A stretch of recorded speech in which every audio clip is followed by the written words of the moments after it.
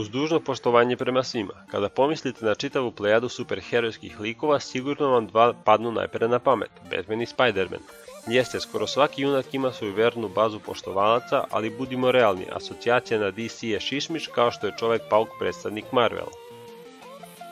Zašto je to tako? A ko bi ga znao? Možda je zato što su njih dvojica po najviše ljudi od svih ostalih. Nisu neranjivi, povređuju se, svaki put kada navuku te svoje kostime svesno stavljaju glavu u torbu, ali ih to nikada ne bi pokolebalo i odvratilo od posla kojim se bave.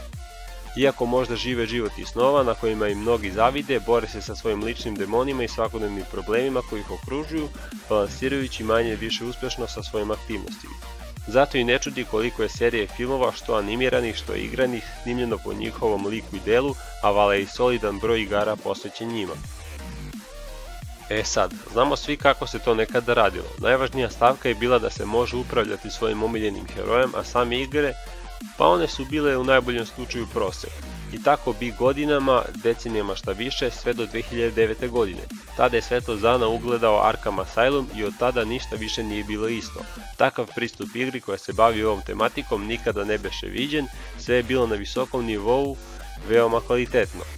Nije neophodno da trošimo redove baveći se tragom koji je Arkham trilogija ostavila u svetu igara, a jedan od pokazatelja je i sama činjenica da se na prstima jedne ruke mogu prebrojati naslovi koji su pokušali da nadmaše njen uspeh.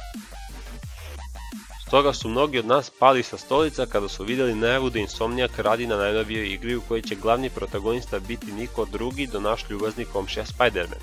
Radost, ali i strepnja su ispunili naša srca.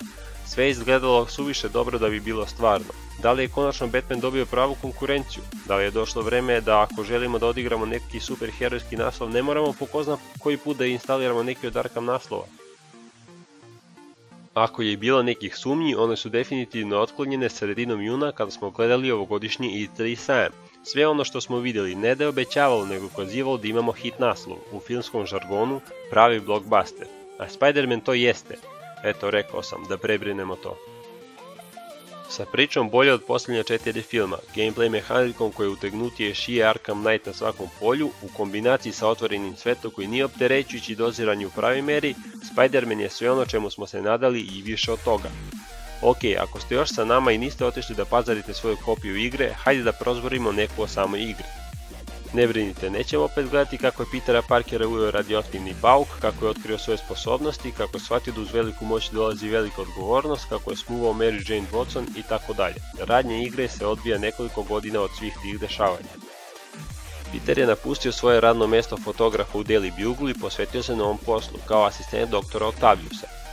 Njegov ujna May sada radi u prihvatilištu za odrasla i nezbrinuta lica, Mary Jane pokušava da izgradi svoj imidž kao novinar istraživač, Norman Osborn je gradonačelnik New Yorka, njegov sin Harry je na putovanju Evropom, a J.J. Jameson nije više glavni urednik novina, već je postao vojitelj autorske radijske emisije koju koristi kako bi u što većoj meri diskreditovao Spider-Man. Ukratko, igra funkcioniše kao pravi fan servis, pa čak i ako niste upoznati sa istorijom i svetom koji prati Spidey-a, mnoge stvari će biti veoma jasne. Počinjemo tako što krećemo u akciju hvatanja jednog od Spider-Manovih najvećih neprijatelja, Wilsona Friska poznati kao Kingpin.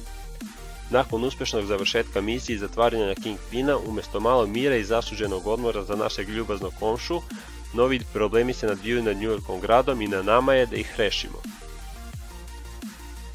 Grafički igra izgleda spektakularno, grad je veoma detaljno određen, tu su i mnoge znamenitosti koje ga čine poznatim i prepoznatljivim. Likovi u igri izgledaju prelepo, odrađeni su sa dosta detalja i pažnje, bilo da se radi o dobrim ili lošim protagonistima, a naravno tu je i fotomod za ljubitelje fotografisanja. Kad je o gameplayu reč, ne znamo dakle da počnem. Da li od jedinstvenog neponovljivog Spidey transa koji nijedna druga igra ne može da vam ponudi ili od borbenog sistema koji je razrađen i utegnut do samog savršenstva. Sloboda pokreta, bezbroj kombinacija udaraca i spravica koje imamo na raspolaganju, brzine i fluidnost koju igra nudi su zaista neverovatne.